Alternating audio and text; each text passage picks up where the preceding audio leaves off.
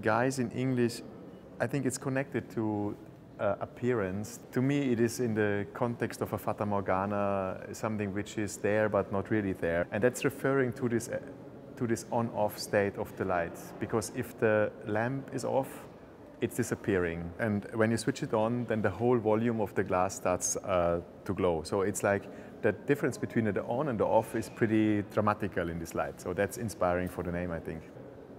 The principle that, that this light is using is already existing in, let's say, um, the backlight of um, an iPhone or a computer screen. Nobody did a lamp so far as I know that is working this way. And uh, it's pretty great if you're doing something which is so uh, virgin somehow.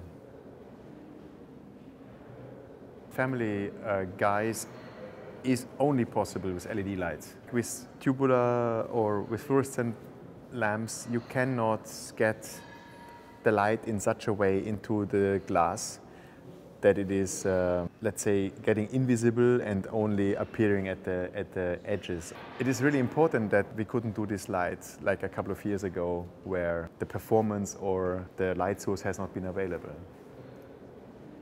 I don't know who said that, but if you approach uh, old problems the same way as they have been approached in the past, you probably come out with the, the same, uh, the same solutions.